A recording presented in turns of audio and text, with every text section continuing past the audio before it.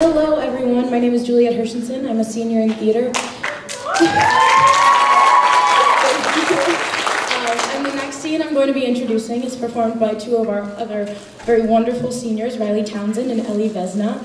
Uh, the play is called A Couple of White Chicks Sitting Around Talking, written by, oh my goodness, I just, oh, I just, John, wait, what, John Ford Noonan. It was in there, I knew it was. All right, enjoy.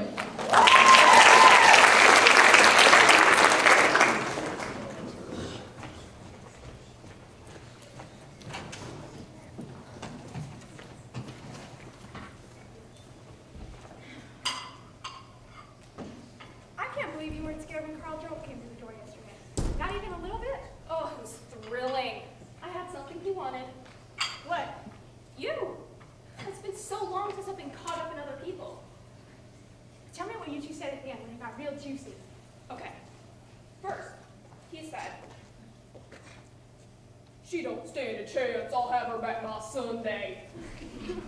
And then you said, say it word for word so I can store it away.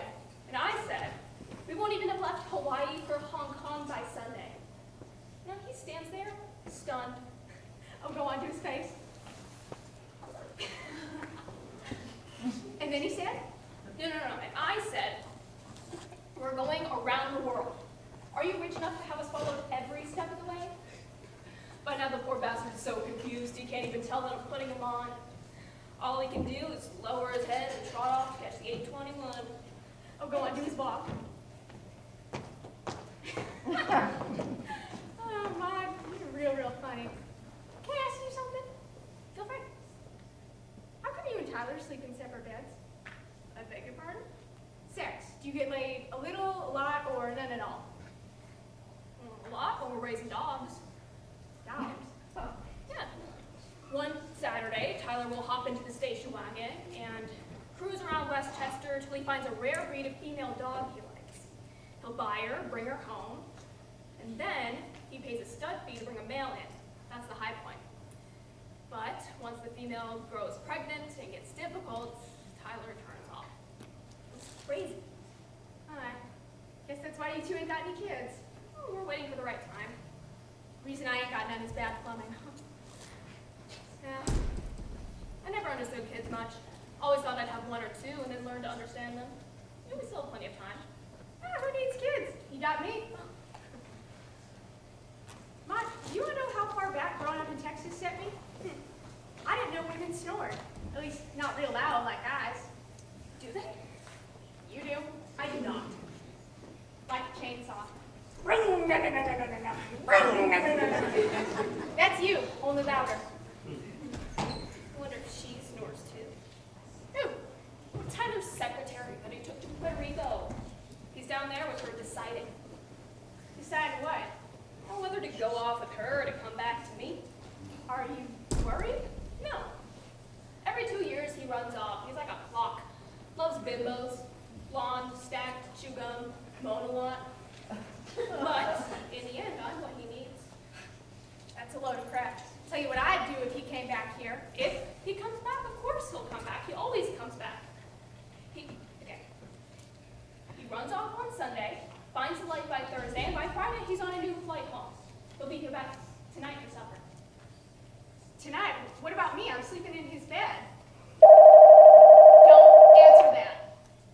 Don't do it. Don't, don't do it. Yes, hello, this is Maud Mix. Okay, operator, I'll accept. Hi, prodigal. Get yourself a I'll bet. I'll just bet. Listen, prodigal, what's the flight number? When's it scheduled to land? And yes or no, do you need to come in and pick you up? Tyler, what's all this whispering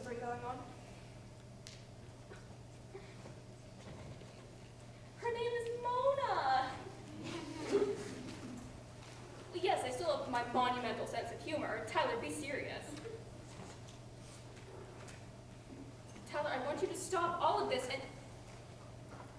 Honey, please, just come home. We'll find some non-stories. We can find... Try one more time. Hello? Hello?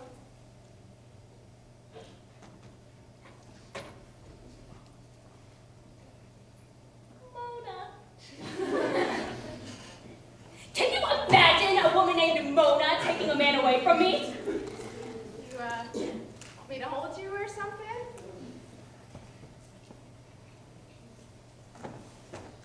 Tell you what I'd do if I were you, why I'd smack him silly. What I'd do, I... Wow, you got your bags all packed and ready? With a woman like Tyler, a woman's got to be ready for everything. You know, we had a deal, an agreement. We said if we ever came to splitting up, we'd face each other over a table and, like adults, talk it all out. I won't let him get away with a Dear John long distance collect. He's gonna have to pay something for breaking his word. But you're breaking your word to me, too. I will go down to Puerto Rico and stand next to his Mona. He can measure our pluses and minuses side by side. Get Easter on the line. Tell him I can be Kennedy in 90 minutes. The guy's a jerk, Maud. He's got you and he chases tomatoes. Can. They're mine. Give them here. Pissing in the wind, Maud. Pissing! I say give them here! You cannot hit me with my own property! You wanna? Take him. That's just great. Why do you want to go down there and humiliate yourself in front of a woman who's 10 years younger than you and half as smart? He's my husband! He's all I've got! He's all you got. Or you're gonna have to fight me to get out the door. Don't be ridiculous. Hedda, you're hurt. We can't possibly... Fight back. You Texas girls may solve your personal disputes via... Stop yakking and put up your shoes. I will not stoop to this ridiculous behavior! Fight back, sugar. My name is Maud.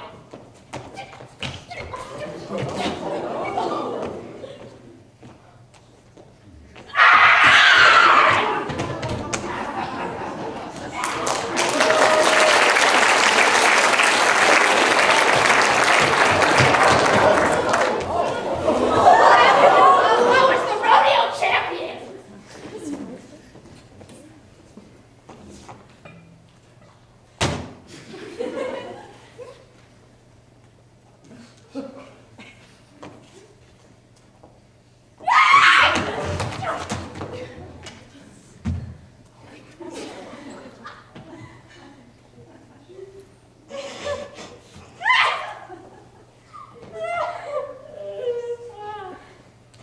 I'm glad you decided to stay.